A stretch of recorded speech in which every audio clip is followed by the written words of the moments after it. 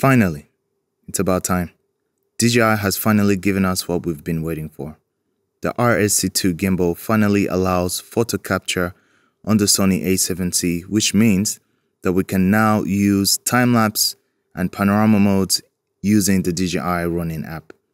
This also allows you to take pictures on the app when using the DJI Raveneye.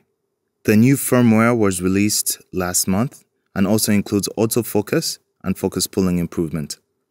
I've had a chance to test it before making this video, and I thought I'd share one key tip when using the RSC2 photo modes. In the menu for the Sony a7C, head over to the network settings, select PC remote function, then go to page 2, and make sure that the still image save destination is set to either PC and camera or camera only.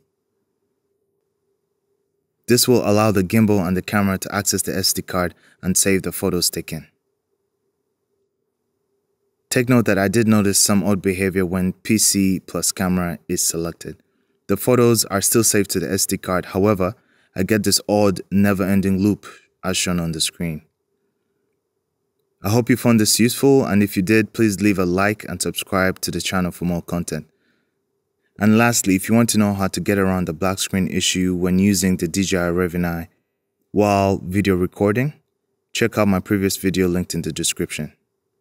Thank you.